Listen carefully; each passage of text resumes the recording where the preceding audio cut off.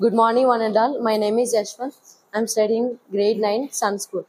Now I'm, now I'm going to explain about my brochure on Topo Island.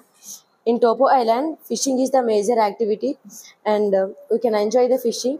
And there are some expensive fishes in the ocean and we can sell those fishes to gain more profit. And uh, in Topo Island, um, we have the best sceneries and we can enjoy the best view in the Topo Island. And in the temperature of the Topo Island is uh, neither hot nor cool. And um, the food the food is very delicious and there are some experts and chefs the the food is prepared by them thank you for choosing us